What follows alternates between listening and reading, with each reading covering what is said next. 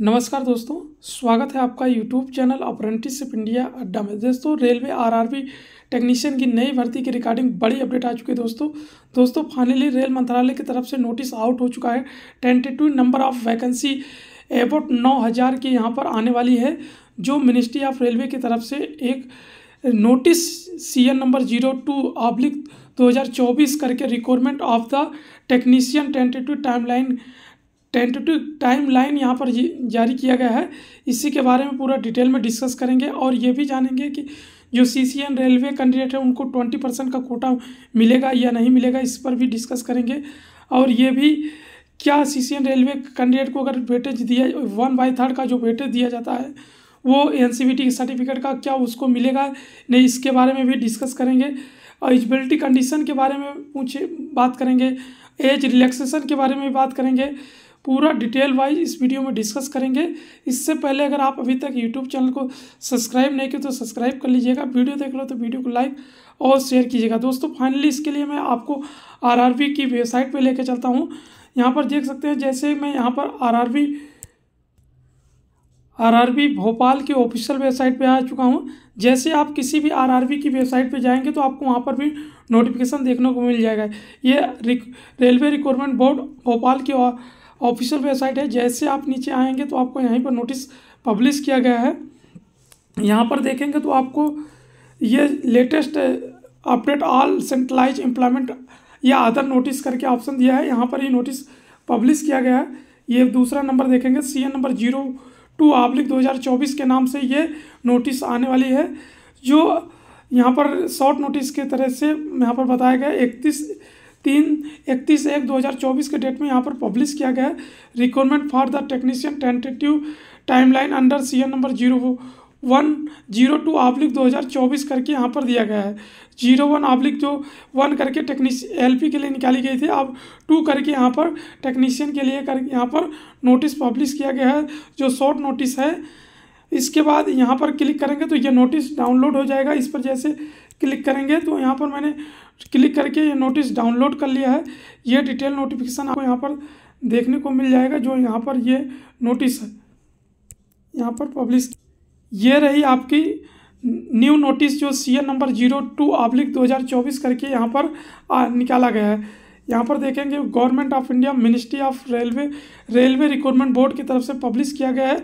यहाँ पर पूरा टोटल मेंशन किया गया C N number zero two oblique दो हज़ार चौबीस recruitment of the technician tentative timeline यहाँ पर मीन्स सब्जेक्ट में दिया गया टेंटेटिव नंबर ऑफ़ वैकेंसी एवं वन नाइन थाउज़ेंड करके यहाँ पर दिया गया। यानी टोटल यहाँ पर नौ हज़ार के अराउंड फिगर यहाँ पर वैकेंसी आने वाली है टेक्नीशियन की, जो कि यहाँ पर पूरा टाइमलाइन पब्लिश किया गया। यानी कह सकते हैं एग्ज़ाम डेट वगैरह सब यहाँ पर आपको मेंशन है, कब आपका एग्ज़ाम होगा और कब आपकी डी के लिए बुलाया जाएगा, कब आपको शॉर्ट लिस्ट किया जाएगा, पहला पार्ट पैनल आएगा, वो सब चीज़ें यहाँ पर क्लियर किए गए नीचे देखेंगे तो आपको यहाँ पर पब्लिश किया गया, पहले नंबर पर publication of the notification in employment notice, news फरवरी 2024 यानी अगले माह, इस महीने में ही आपको नोटिस पब्लिश हो जाएगा, जो सी एन नंबर करके यहाँ पर आएगा, जो पूरा डिटेल नोटिस रहेगी, वो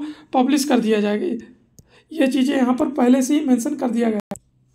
आप लोग यहाँ पर देखेंगे, दूसरे नंबर पे मेंशन किया गया submission online application form April, March April 2024 में आप लोग का फॉर्म फिलअप किया जाएगा। मार्च और अप्रैल महीने के माह में ये फिलअप होगी। जिस मार्च में स्टार्ट हो जाएगी, अप्रैल इसका लास्ट डेट रखा जाएगा, जो यहाँ पर बताएगा तीसरे पे आपको मेंशन किया गया the computer based test C B Ts are tentatively scheduled to be the held between the October and December 2024 यानी आप लोग का टेंटेटिव संभावित जो एग्ज़ाम सीबीटी होने वाली है, वो आप लोगों को यहाँ पर बताया गया कि आप लोग का अक्टूबर से स्टार्ट होगा, जिसका लास्ट डेट दिसंबर 2024 तक होने वाली है। यानी अक्टूबर से स्टार्ट होगा, समाप्ति की एग्ज़ाम का इसका लास्ट स्टेज और समाप्ति के चरण में रहेगी, वो यहाँ पर बताया गया दिसंबर तक समाप्त हो जाएगी। उसके बाद यहाँ पर फ़ोन नंबर पर मेंशन किया गया है। आप देखेंगे तो यहाँ पर इन्होंने बताया है कि आप लोग का shortlisted for the document verification will be the release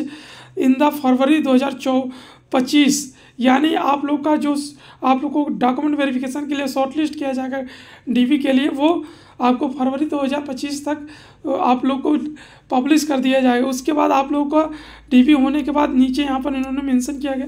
note में the centralise employment notice for the next circle requirement to the post technician in provisionally panel for issue April दो हज़ार पच्चीस। यानी आपकी नेक्स्ट पैनल जो आएगी, जो कह सकते हैं फास्ट फ़र्स्ट पैनल होगी जो आपकी ज्वाइनिंग के लिए होगी, वो आप लोग की यहाँ पर अप्रैल में इशू किया जाएगा 2025 में। वो नोटिस आप लोग देखेंगे, ये पूरा शॉर्ट नोटिस इकतीस एक 2024 के तहत में पब्लिश किया गया। रेलवे रिक्रूटमेंट बोर्ड चेयरपर्सन के द्वारा ये भेजा गया है। तो ये पूरी शेड्यूल यहाँ से इनकी टाइमलाइन टेक्नीशियन की आ चुकी है। यहाँ पर नौ हज़ार अराउंड फिगर आप लोग की वैकेंसी होने वाली है।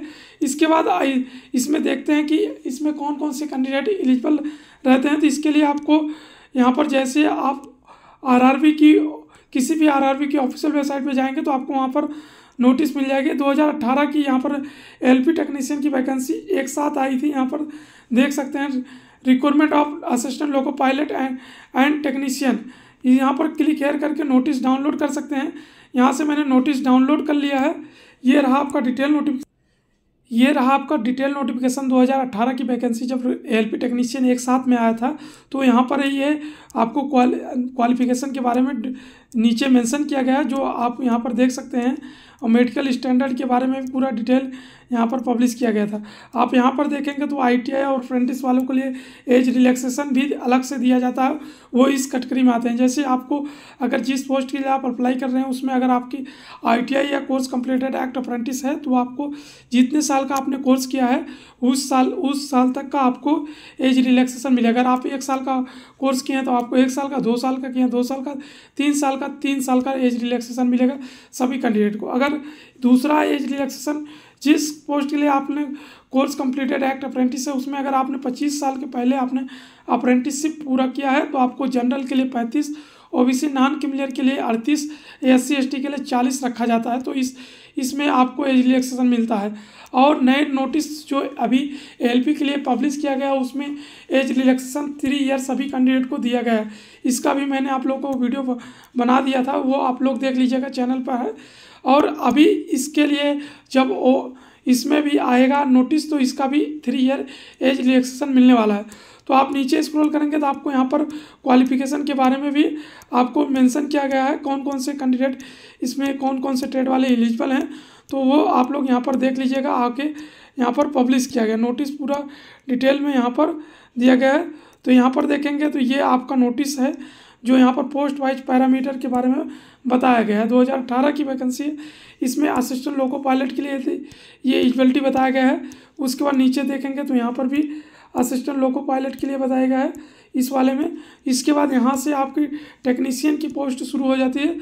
तो आप लोग टेक्नीशियन के लिए बता दूँ। यहाँ पर बता गया मेट्रिकुलेशन पास हो या एस एस सी एल यानी आप हाई स्कूल पास हो प्लस आपके पास आईटीआई होना चाहिए एन अथवा एस से तो फॉर्म अप्लाई कर सकते हैं। और इसमें देख लीजिए यहाँ पर मेंशन किया है।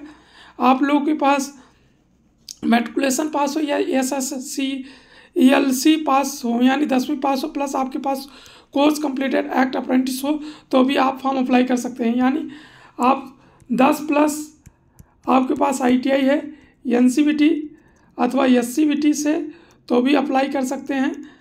इसके बाद आप अगर दस पास हैं, प्लस आपके पास एन यानी जो सी सी ए वाला सर्टिफिकेट होता है कोर्स कंप्लीटेड एक्ट अप्रेंटिस जिसे बोलते हैं रेलवे में, अगर आप ये वाला सर्टिफिकेट लिए हैं, कहीं से भी किए हों, चाहे रेलवे हो, चाहे दूसरे जगह से हो, किसी भी इस्टेब्लिशमेंट से है तो भी आप फॉर्म अप्लाई कर सकते हैं।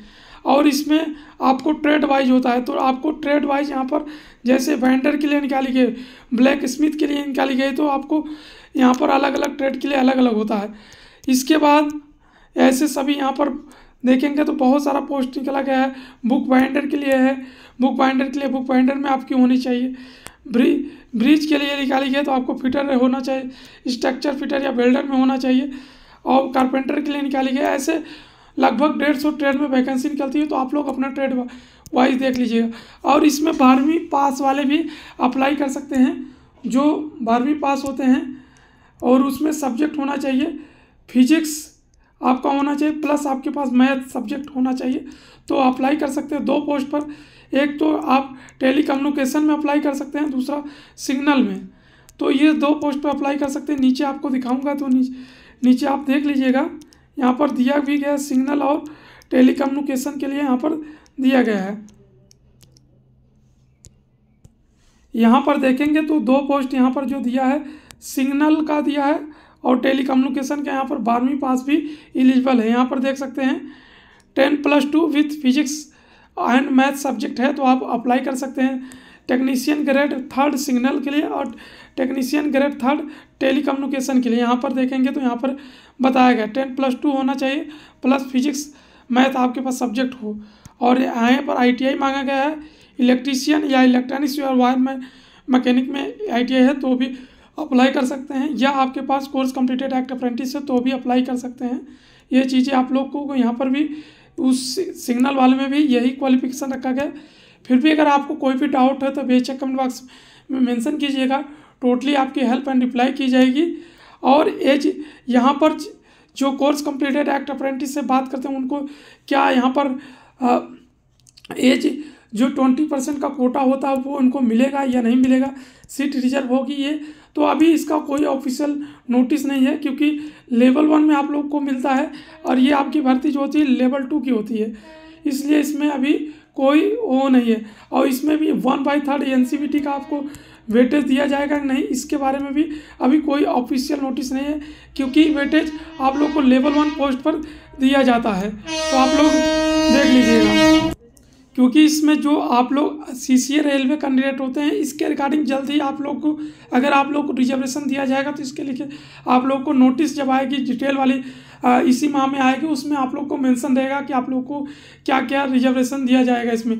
एज का रिजर्वेशन तो कंफर्म है क्योंकि ये 2018 की नोटिस में भी ये चीज़ें मेंशन किए गए एज में आप लोग को मिलेगी। और सभी कैंडिडेट को जो थ्री ईयर आप लोग जानते होंगे ए की जो भर्ती निकली है, उसमें नई वाली में, उसमें आप लोग को एज रिलैक्सेशन आपको यहाँ पर थ्री ईयर का एज रिलैक्सेशन सभी को दिया जा रहा है, वो चीज़ें आप लोग यहाँ पर देख लीजिएगा। ये ये नोटिस भी पब्लिश किया गया है।